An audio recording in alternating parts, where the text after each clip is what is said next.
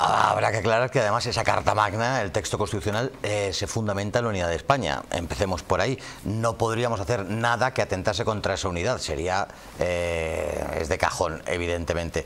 Se, le utilizan elementos como el término de autodeterminación, que ya ha calado y lo usamos eh, comúnmente y no es de recibo usarlo, es un término que se creó al final de la Primera Guerra Mundial para los eh, territorios colonizados y que pudieran eh, decidir los habitantes de esos mismos territorios si seguir perteneciendo a la metrópoli o no.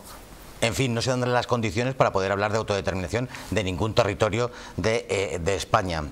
Si cabe en la Carta Magna o no, evidentemente no puede caber en la Carta Magna nada que atente contra la unidad de España, como digo. Eh, pero Sánchez, que es capaz, y lo hemos dicho tantas veces porque es así, es capaz de, agarrarse a cualquier clavo ardiendo para seguir en el poder, pues va a darle todo a Puigdemont, que sea el árbitro, el señor Puigdemont, que está fugado de la justicia española por hacer lo que ha hecho, que sea el árbitro de la situación política de España, creo que eh, retrata muy bien la mediocridad política que existe en este país.